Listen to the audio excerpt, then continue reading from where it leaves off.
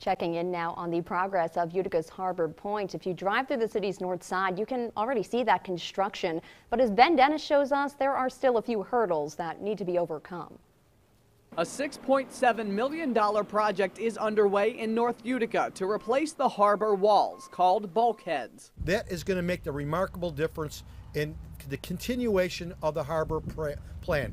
First and foremost, it makes it safe and it makes it stable. It's expected that the bulkheads that you see here behind me will be installed by June or July. Utica Harbor Point Development Corporation Chairman Vincent Gilroy says new bulkheads are necessary to attract developers. He says that's why the deadline for developers to submit a request for expressions of interest has again been extended, now to June. Now that we're fixing the walls, we can say, well, we're fixing the walls, and once they're done, we'll be taking title to the property and you know it'll it'll move a lot faster. Once completed, Gilroy says the Development Corporation will move to acquire the land owned by the Canal Corporation, including the 1933 building. Around the canal, there isn't a ton of land. It's it, but it wraps around the whole Canal Corp, and then you can see the buildings here and, and, there's plenty of room for recreation and boating, and we're talking about amphitheaters and lots of other things that we can do on the water. The Harbor Point redevelopment plan includes baseball fields on the harbor's west side. Gilroy says the Development Corporation is under contract to acquire land there. National Grid occupies some of that space. We've had many meetings with National Grid.